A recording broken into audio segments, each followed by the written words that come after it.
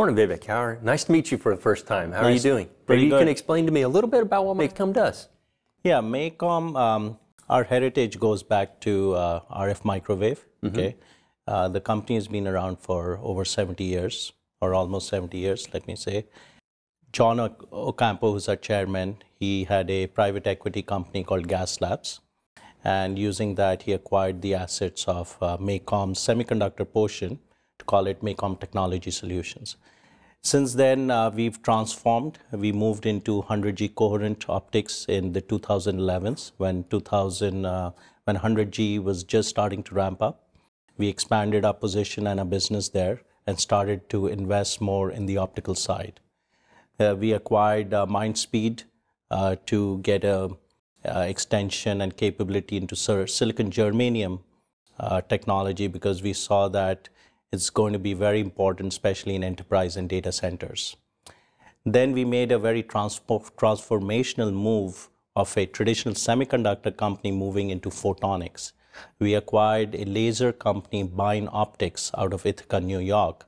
And the uniqueness of BinOptics technology is that they manufacture lasers using etch facet technology or EFT as we call it. So which is uh, very similar to traditional semiconductor manufacturing where the facet of the laser is etched and you can do uh, wafer level testing. Also go into higher wafer sizes like 4 inch. At the same time, we also saw the importance of silicon photonics playing a role in data centers, inside the data centers first, and then even outside into the networks, you know, a coherent networks in future, and so on. So we acquired a team uh, outside of Corning, New York, to focus them on developing silicon photonic technology. And the key challenge of silicon photonics is the integration of indium phosphide laser with silicon. And with BinOptics and our silicon photonics team, we, in, we had close collaboration between the teams to come out with what is a LPIC or a um, technology where the laser self-aligns passively onto the silicon PIC.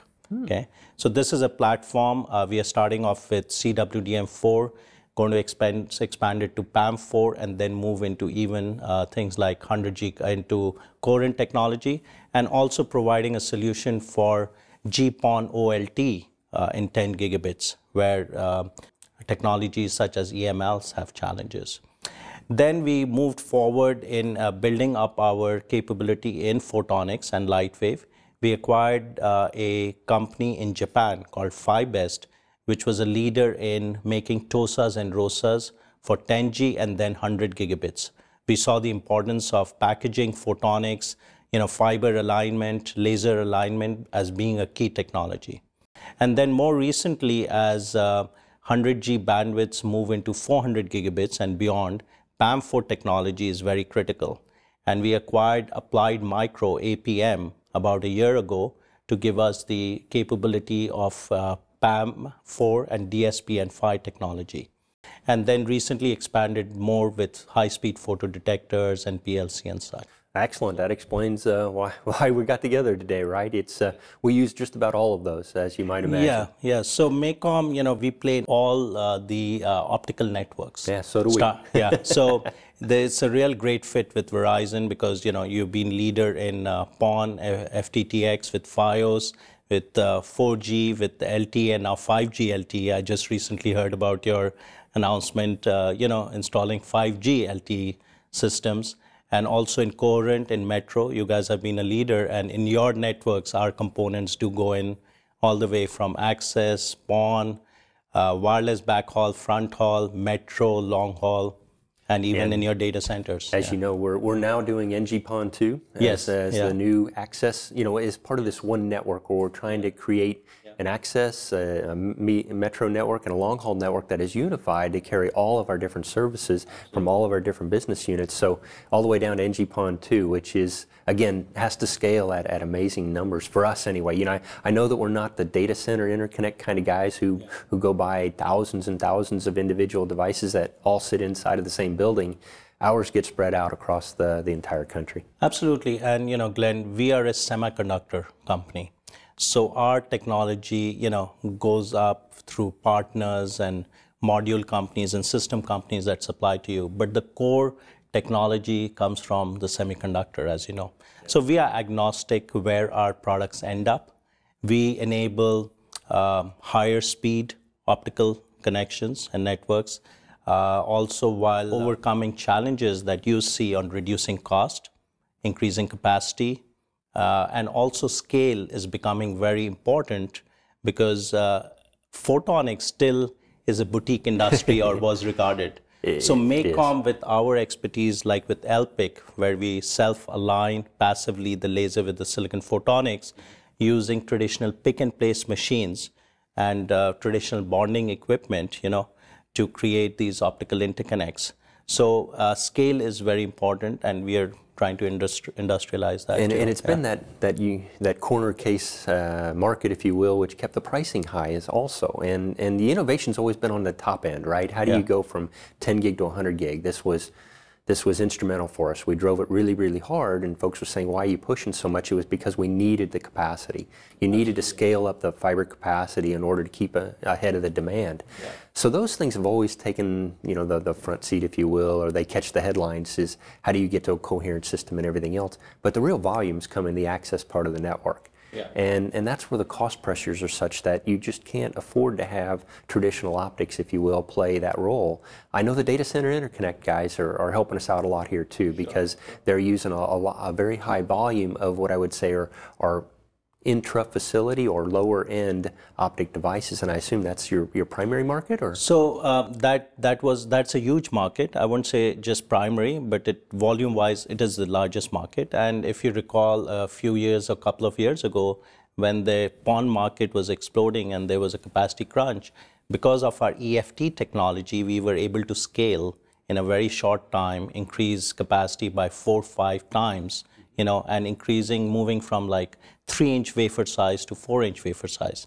doing wafer level testing. So cost is very important for you as well, and volume in the PON and whether you're going to NG-PON2 or whatever access networks are cost sensitive. Yeah, right? exactly. We, uh, yeah, yeah. you know, we have at any given time six to seven million active customers, past 18 million in the ILEC footprint, yeah. and continue to grow that in, in what we uh, uh, we've announced uh, Boston and, and Sacramento now as as one network, one fiber cities where we're going after the smart city environment. Sure. And when you start talking about in, Internet of Things, yeah. uh, the, the preferred way, of course, lots of things will be connected wirelessly. Sure. I mean, that'll be the ideal last mile connectivity, but yeah. that is uh, relatively short.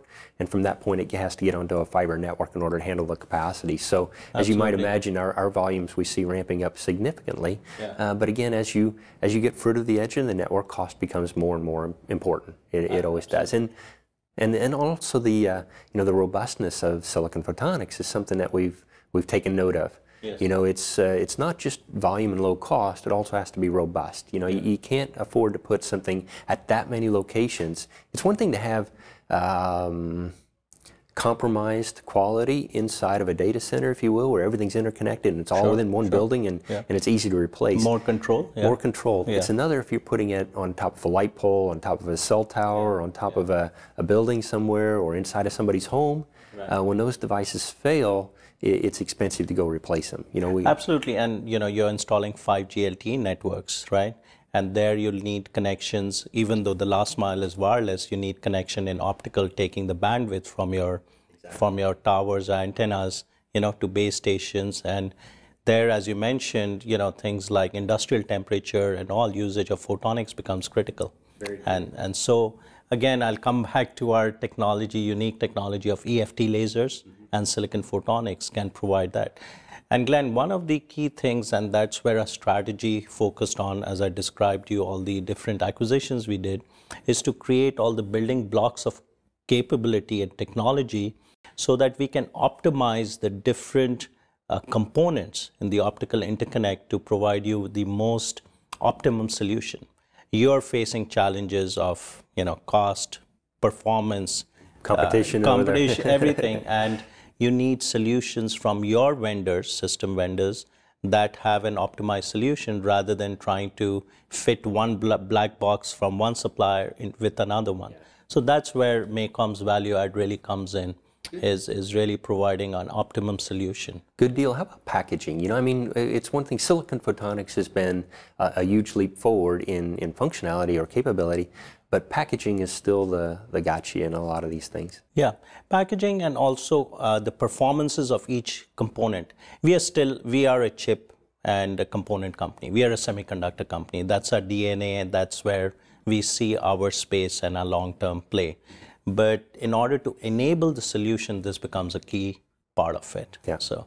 Yeah, it's really uh, instrumental, right? If it doesn't exist at that layer, yeah. it, it's never going to. exactly. you can't invent it at yeah. the system yeah. level, right? Yeah. If it doesn't exist at the component level. So, I think that the other, you know, the the the far end of the of the network, and again, I can't import the uh, the difference between us and, and some other folks has been high reliability. You know, again because it's expensive to go put something at somebody's house. Sure. It's sure. expensive to put it on a light pole. It's yeah. expensive to put it crazy places where they want 5G antennas in yeah. order to reach the the customer base we're talking about for Internet of Things. Yeah. Um, some places that you won't necessarily want to go and replace things, yeah. uh, but at the same time, there's there's a lot of it, so cost is always important.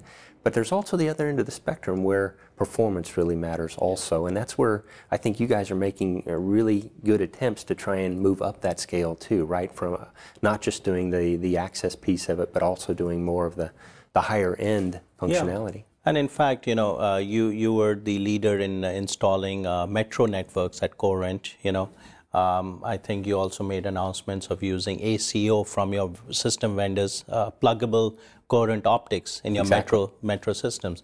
In fact, uh, MACOM's drivers, we were the first ones to come out with the right uh, power and size uh, coherent drivers that went into those modules. Oh, very you good. know, to enable that. And now also working on uh, increasing single lambda throughput to 600G, which uh, I, am sure that Verizon will be a leader in installing those yeah, uh, before yeah, anyone it, else. It's yeah? uh, so. something that we need to take, like the ACO is a perfect yeah. example, right? In order to get the, the cost points where you needed them, it's one in a metro environment. Uh, again, if you're, you know, submarine has always been a premium because you needed relatively few of them, and and the revenue associated with it was was quite good.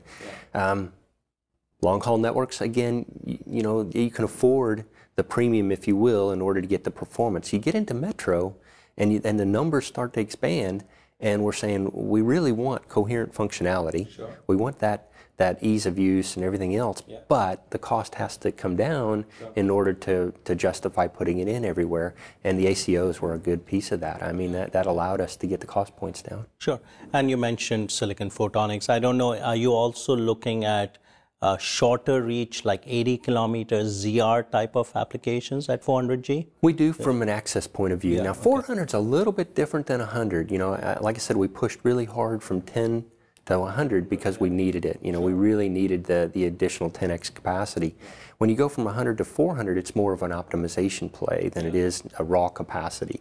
Uh, in an access environment or between sites like that where you're talking single reach, yeah. for us, we're, we're a bit different than the data center guys, yeah, right? You know, the data center guys have huge demands, and I imagine that's where you'll see the, the volumes come from large demands between two locations that are generally in that neighborhood, you know, 40, 60, 80 kilometers apart, uh, where generally our central offices or our facilities are closer than that.